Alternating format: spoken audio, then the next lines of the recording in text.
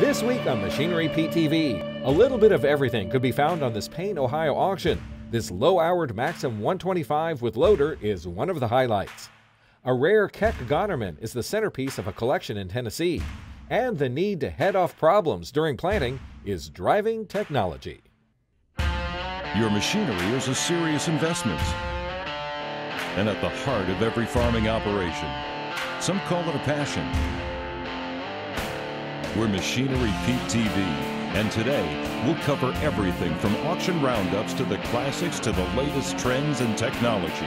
Machinery Pete, the most trusted name in farm equipment. Machinery Pete thanks these premier sponsors for their support. Sullivan Auctioneers. Let our team of professionals show you how to make your auction a success. Visit sullivanauctioneers.com. Hey folks, welcome to Machinery Pete TV.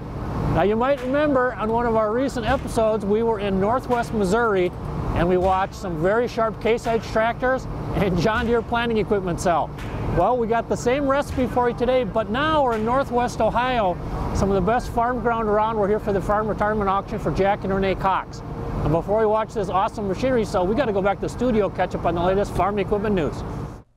All right, thanks, Greg. The U.S. Mexico Canada agreement appears to be moving another step forward. Canadian Prime Minister Justin Trudeau is pushing legislators to quickly approve the deal. But Reuters is reporting the opposition party wants to study that deal. Canada is the only country that still needs to approve it. President Trump plans to sign that agreement for the U.S. after it was approved in the Senate last week. Equipment maker AGCO launching into the planter market this week, introducing its first ever planter. Tyne Morgan joins us now from Peoria, Illinois. And Tyne, AGCO has come up with what they think is the perfect planting design. Thanks, Clinton. Yeah, Fendt unveiling its first ever planter. And with it being the first, they said they were able to engineer it from basically a blank canvas or a blank sheet of paper. And in doing so, they say they were able to create a planter that really addresses some pain points producers have when planting. We moved the toolbar back. But then there's also the problem that, you know, somehow this has got to match the ground as it goes up and over. We're a long ways back from behind the bars, and so that's where that contouring toolbar came in and really that's that was the that was just really the heartbeat that started this all out and what this does for us is allows us to sense on the rows uh, what what where the parallel linkage is in, in respect to the row unit and we're able to automatically adjust that to ensure that the row unit is at the optimal position to plant that seed so you're getting that even emergence every time now, Clinton Agco and Fendt tell me they had two main goals with designing this planter. One, eliminate farmers' stress, and two, help farmers make more money. Reporting from Peoria, Illinois, I'm Tyne Morgan. All right, thanks, Tyne. That's it for news. Now let's check on some recent auction prices from around the country.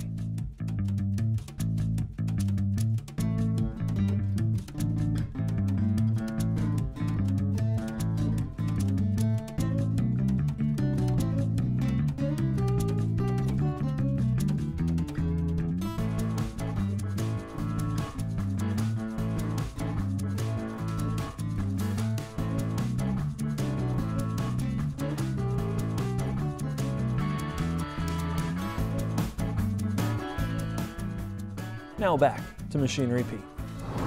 Hang in there with us, folks. You're not going to want to miss this loader tractor. A 2014 Case IH Maxxum 125, only 875 hours on it. Every good season starts with one great deal. Get yours today with Farm Hard Rewards, going on now at your local certified Firestone Ag tire dealer. Stop in before April 30th and buy two or more eligible Firestone Ag radial tires for one instant discount. More details at firestoneag.com.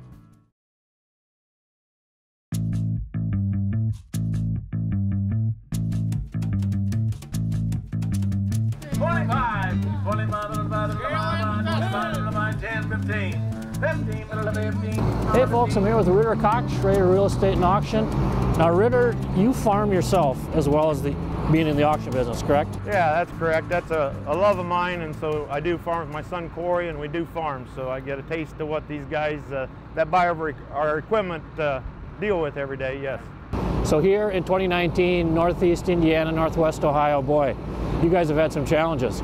Yeah, not only this area, but I think uh, the whole country did challenges with the year, and it was a very challenging year. And we started there in late June and uh, kind of fought it and fought it, and uh, September is what kind of saved some of the crops that we did have, and uh, it was a struggle year, and, and guys equipped. Uh, I guess the American farmer did show that when you're against the wall, can come out and uh, respond to that. You guys have been having quite a few sales, and boy, the pricing has been strong on the good used equipment. Is that kind of what you've been seeing? Absolutely, and, and we've been fortunate. The sales we've been having, retirement sales, and the equipment has been pretty clean and uh, uh, low hour that we've been selling, and, and we're going to be continue selling here for a few uh, weeks here. Uh, so I think again that equipment's in demand. We talked about before, new cost keeps kind of going up. So if guys can get used equipment into the inventory, that's what they're after, and they're willing to pay top dollar for good used equipment. Well, yesterday before the auction, folks, we were out here on the farm site, and I was teasing the owner, Jack Cox. He had his 2014 Maxxum 125. Uh, he was doing some work around the Farmerworth, and I said, Jack, you got to be careful. You're going to push this baby up over $900. I think it's got 875. But uh, the last year, last two years at auction, the five highest Maxxum 125s I've seen with loader from 62.5 to 72.5. 57 by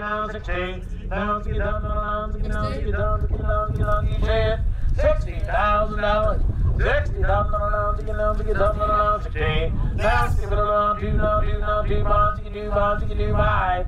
Sixty-two bonds, another one, another one. You can do bonds. Sixty-one, now two, now three, now three, now three, now three, now four, now four, now three and a half, now four, now half, now five. Sixty-one, now half, now sixty-one, five, now five, now sixty-one, sixty-one, five. Sixty-one, five, now five, now five, sixty-one, five. Sixty-one, five, now five, now five, sixty-one, five. 65. Asking 65.5. 65.5. Anybody else? 65,500. You win. 65, now, five, now, five, 65, five.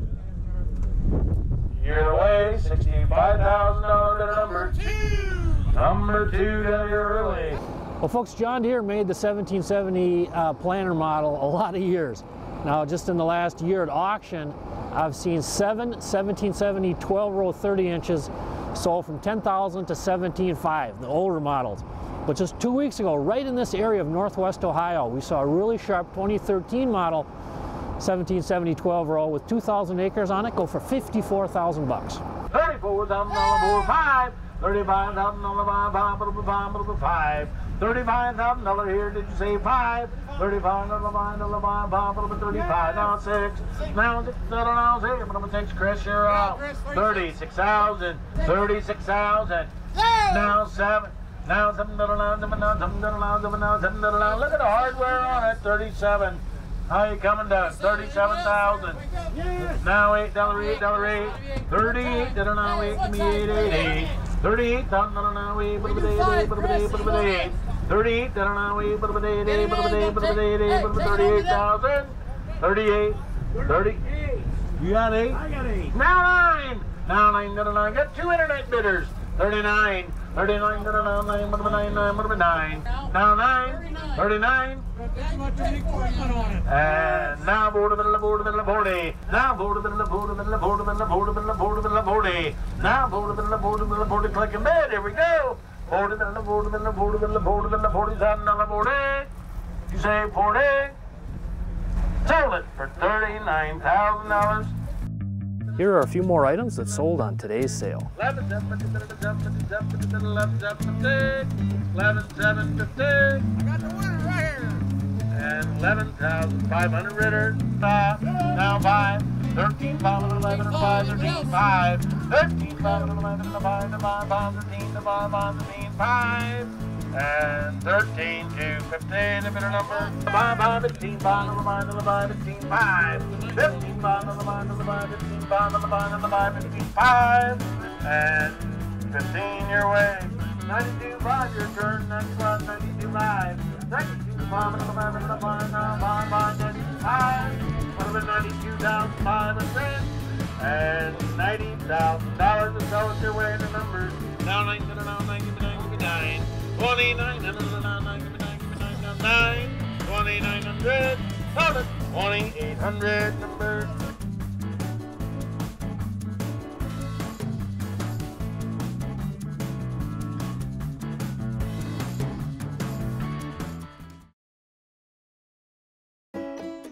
Your next piece of equipment is on MachineryPete.com. Search equipment from dealerships across the country to find what you're looking for. Only on MachineryPete.com.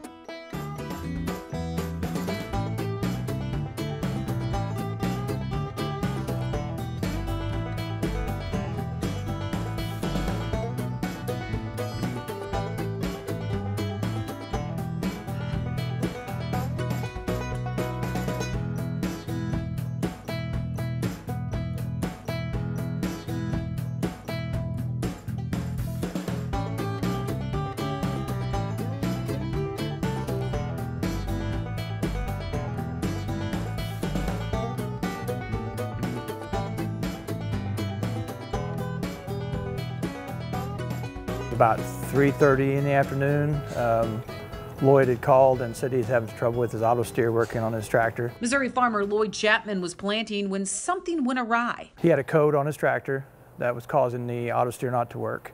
During the phone call, looked up the address or the code to see what was wrong, and he had a valve sticking on his auto steer. And through a little bit of research, took a real quick look up DTAC and found a, a solution for that problem. So whenever they were able to remotely get into that display and tell you exactly what was wrong with your equipment, what went through your mind as he's walking you through step by step and telling you how to diagnose the problem? I didn't believe they could do it, but it, I didn't have to push in probably a couple dozen numbers and I push accept, and then it went to work. An instant fix that proved to the Chapmans change can be beneficial as technology continues to soar to new heights. Ever in your lifetime, did you think that the dealership would have the capability to fix it remotely? You never would believe it, really. It's, it's amazing what they can do. Welcome back to Tractor Tales, folks. This week we're visiting the Days Gone By Museum in Portland, Tennessee. This museum has it all, including this 1936 Keck Gonnerman. There were only about 200 units built in the small town of Mount Vernon, Indiana. What we got here is a uh, 1936 Keck Gonnerman. It's, it's, a Model N. The, the purpose is, is a big plow, but uh, most people that bought them, it ended up doing belt work. Uh, it's running sawmills or thrashers and stuff like that. Kind of a rare tractor. Uh, I think he built 210 of them. And as far as we know, I think there's still 190 spoken for. Still might be some out in the bushes somewhere. I had a, a friend in Illinois that had a buddy that was kind of downsizing. I was looking for a Model N, and there, like I say, there's just 190 of them, so that you don't get many chances to get one bought. So when I heard about this, when I went up and looked at it and cranked it up and ran it around, so we decided to bring her home. We had to work on the mag a little bit, and uh, other than that, she runs good. These things are notorious about, they steer hard when they sit in still, and we got to go in here and rebushing it, and, uh, but other than that, the tractor is pretty well a good, you know, it's a good tractor. The thing about this old gal, she was, of course, like all of them, they cranked on gas and they ran on kerosene in the day. And so uh, we put this thing on the mill just to see what it might do, sawmill. And we put five gallons of gas in it. By the time we got the log squared off and we pulled one line, we was out of gas. so back in the day, you know, the kerosene might have been six or seven cents a gallon. And uh, so anyway, uh, we just show it now. We don't, we don't try to really work it no more.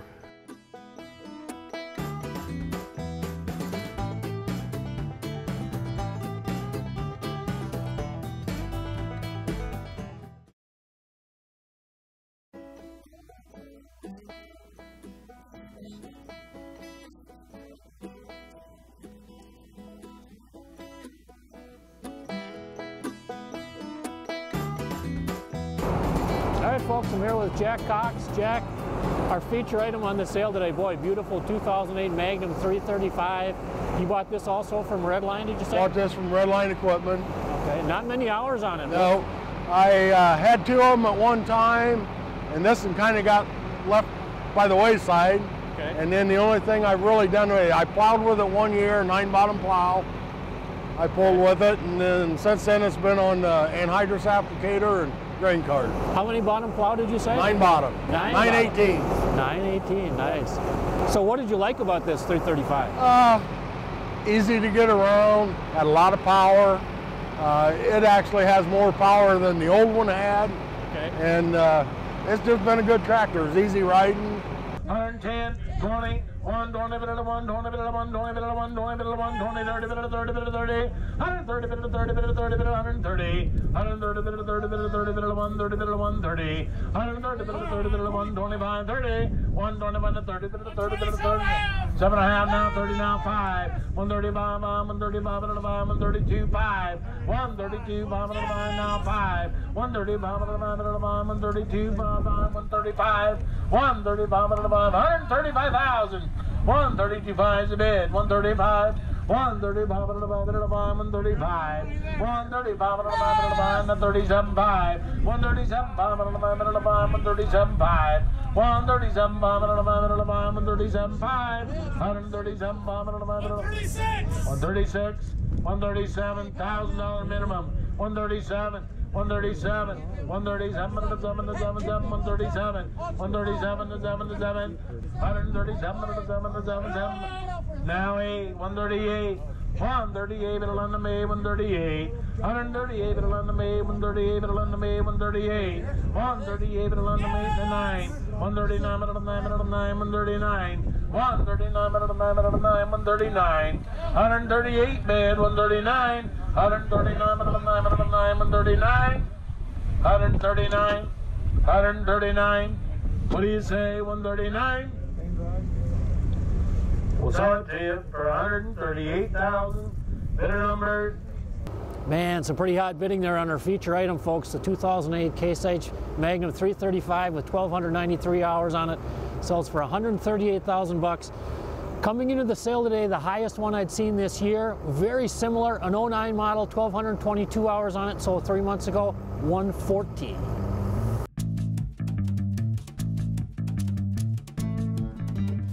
Well, folks, I'm calling 2019 the year of the tracks. No ifs, ands, or buts about it. Uh, easy to understand why, given the very wet conditions, last two harvests, plus planting 2019, super wet. Uh, but it's not just used track tractors that have been hot. Basically, any kind of used equipment on tracks with low hours, good shape, been a ton of demand out there. So let's start our examples with a combine. This 2018 John Deere S790 on tracks, 354 engine hours on it. This thing sold December 12, 2019 on an online dealer auction central Minnesota, 396,000 bucks. Highest auction price I've ever seen on a combine anywhere ever. Now, used skid steers on tracks have also been hot. Here's a picture of a 2016 Caterpillar 299 D2, 320 hours on it. This sold on an auction January 11th, 2020 in Northeast Texas, went for $70,000, very strong price.